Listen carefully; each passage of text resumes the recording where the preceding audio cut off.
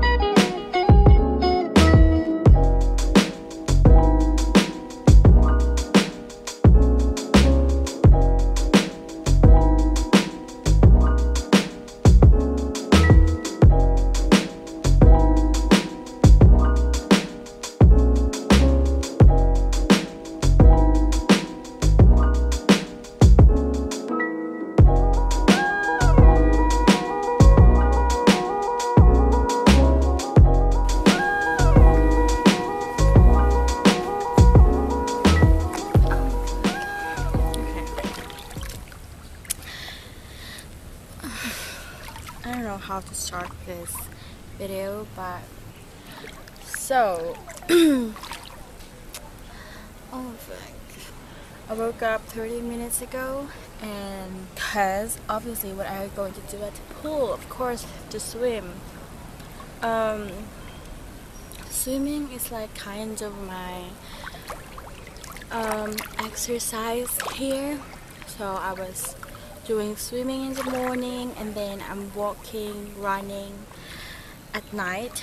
So yeah, I'm trying to stay fit though. So that's what I am doing here. And I'm bringing you guys with me in my oh my god it's so fucking cold my morning routine I did a night routine at the um, Pangasinan so I'm not sure which one should I upload first. But yeah.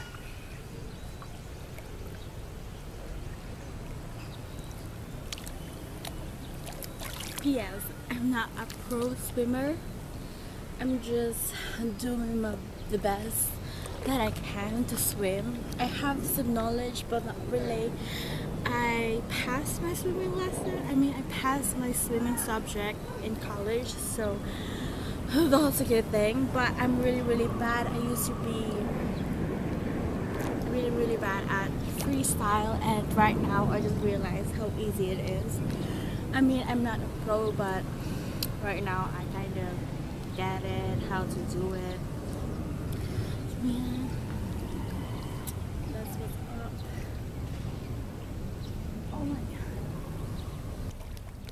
so, I'm going for a swim. Okay, bye.